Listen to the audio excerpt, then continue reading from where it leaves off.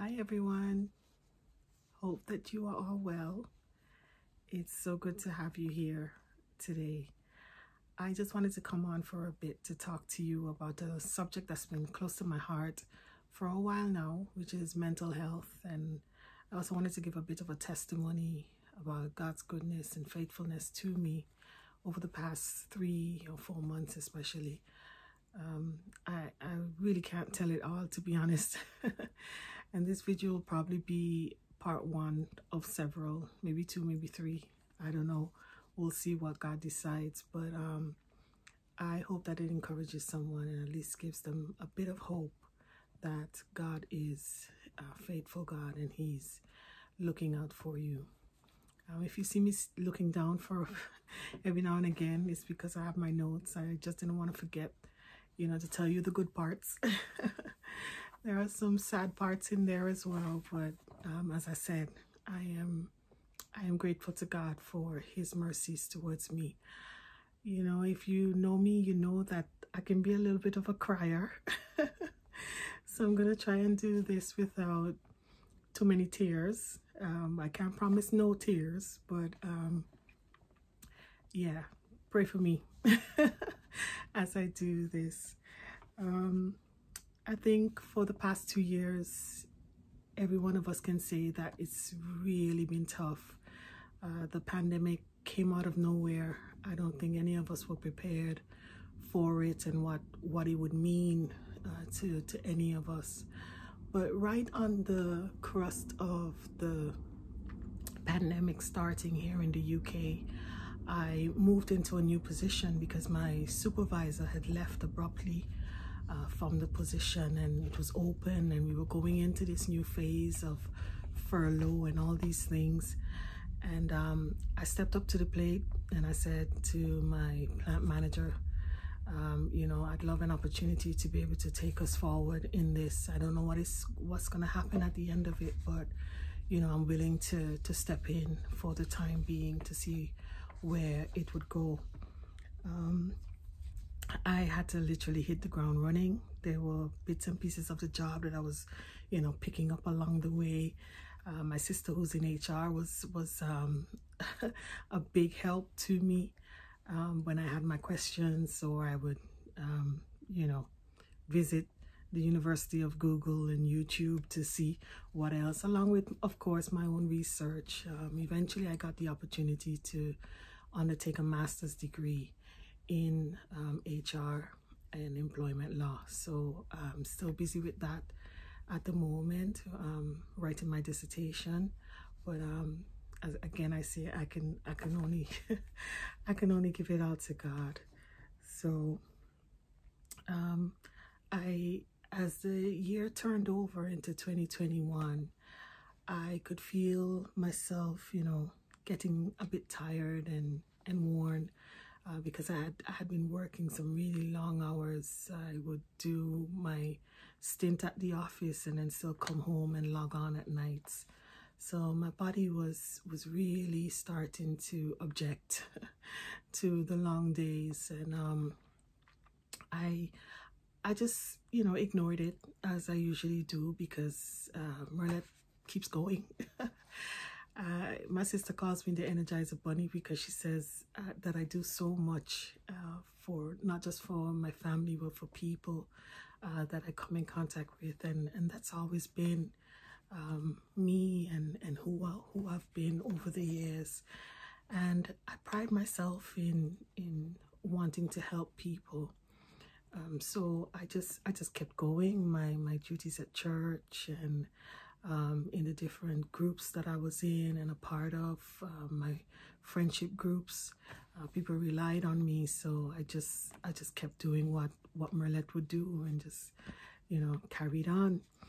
Um, by the time I got to November of of 2021, I I knew that something was definitely wrong because I struggled to get out of bed and um, you know my daughter put it this way. She said she said, um, Mom, you started your days later and later. And, and in fact, some days you, you didn't even make it out of bed. I think about it now and um, I say to myself, that must have been scary for them as well. Because mommy's up at the crack of dawn,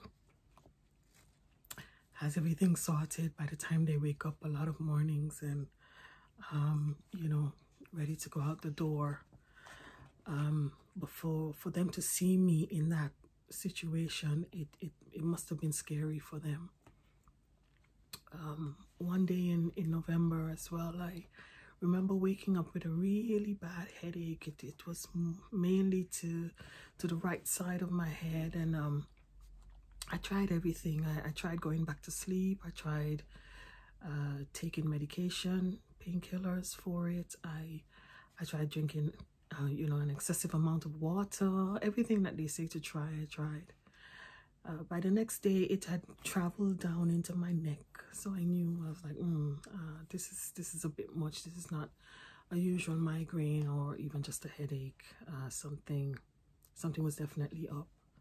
So I said to my husband, "I said, um, maybe we should check my pressure, my blood pressure," and um, we did, and it was definitely way too high for for where it needed to be.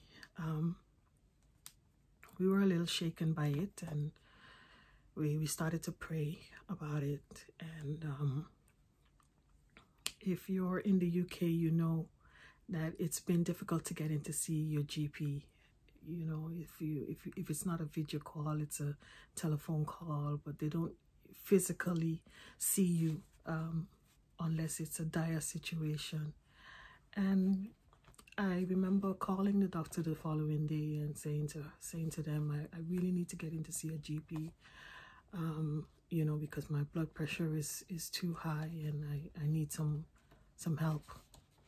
Um, I think that's when the nurses finally, you know, kicked into gear and said, okay, um, we'll have someone call you within the hour. And um, my GP called eventually and she said to me, um, tell me what your readings have been over the past few days. And I told her, and she was like, whoa. She's like, no, you need to get here now. Um, let's see what's going on. I got to the practice and the nurse took my pressure and um, she looked at me, you know, rather strangely. And she's like, she's like, how did you get here? I said, well, my husband brought me. Um, he's waiting outside. She's like, oh, um, she said, are you okay? I said, yes. She said, are you experiencing anything right now? Um, by then the headache had subsided, so I didn't feel anything in particular. Um, but she was just concerned that I was having a proper conversation with her and my pressure was that high, you know? um, so they wanted to start me on medication right away and um, you could just imagine my reluctance. Nobody ever wants to start medication for for some of those you know uh, types of diseases because it's almost as if it's a, a death sentence. You know you go on and you can hardly get off um, unless you really make some radical life changes. Um, you know you could you could stay on it for life. So I had my doubts about it and you know and anyway we went and we picked up the prescription but for several days we mulled over it, we prayed, and we asked God to lower my pressure because, you know, we didn't want uh, medication to be to be it.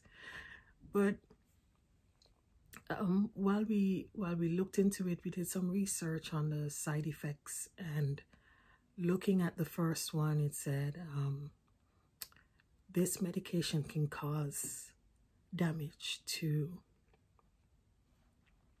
severe damage to an unborn child. And at the time, I, I wasn't pregnant, but um, my husband and I uh, had recently decided to try for our third child. you know, just just to just to round it up because it's something we'd always talked about.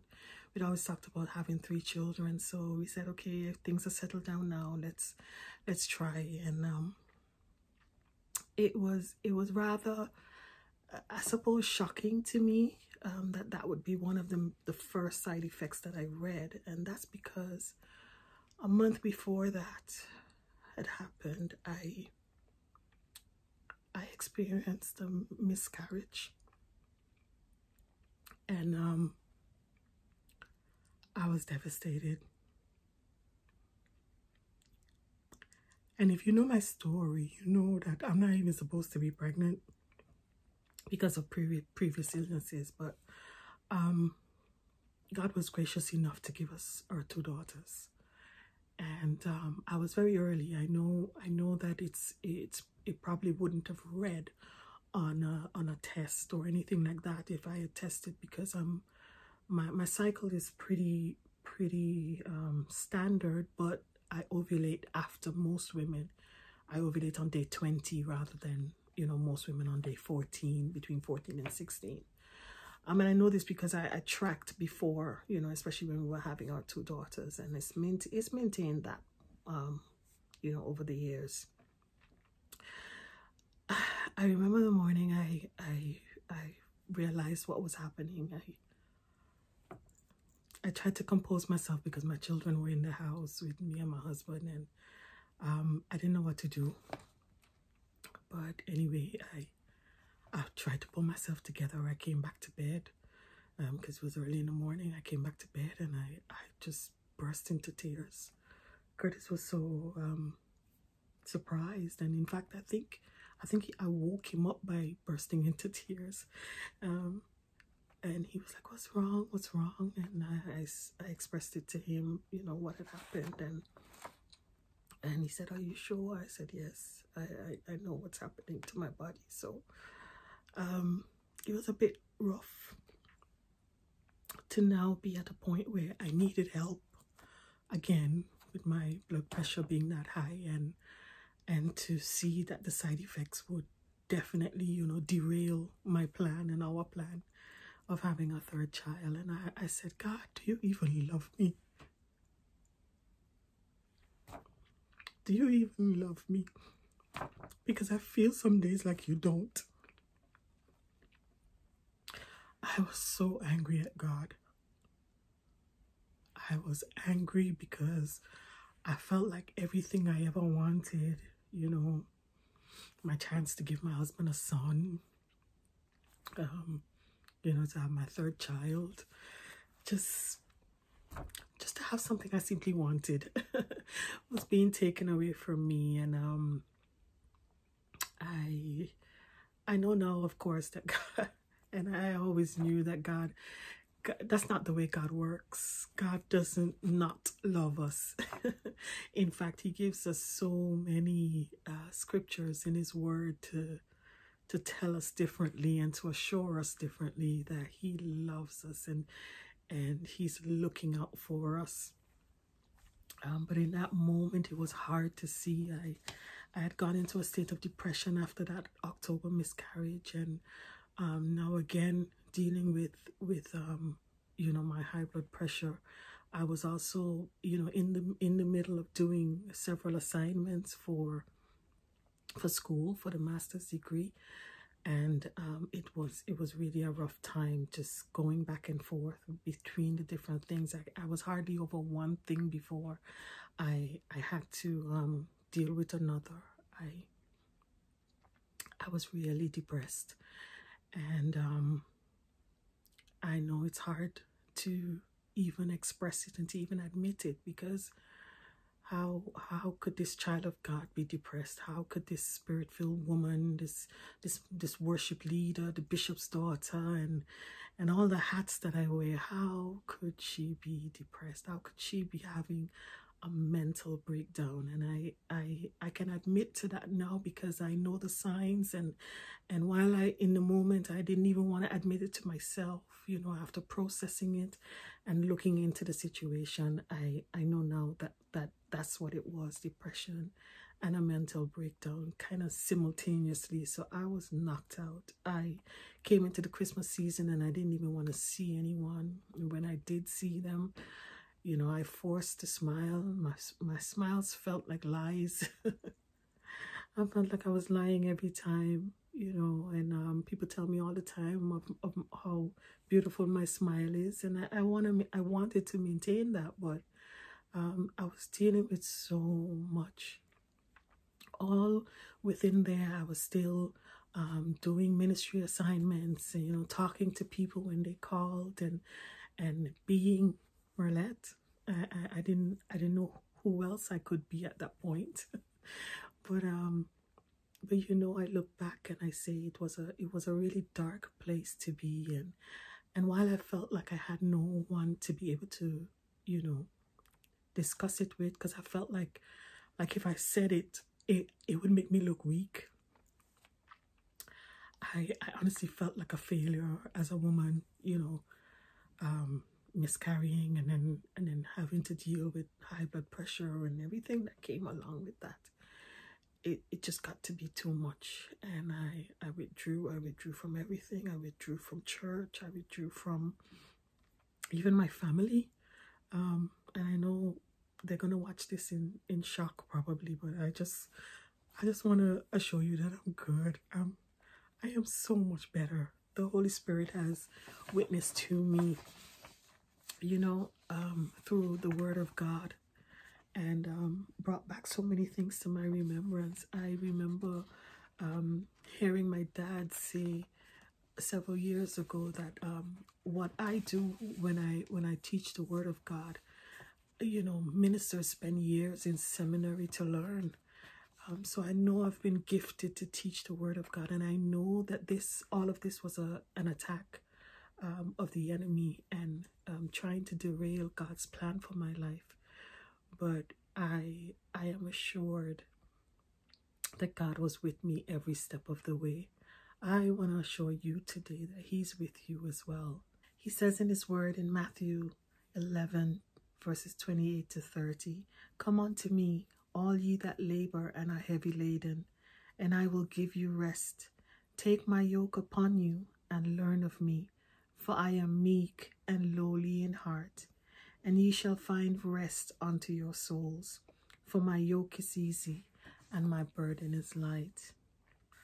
The Lord wants to take your burden.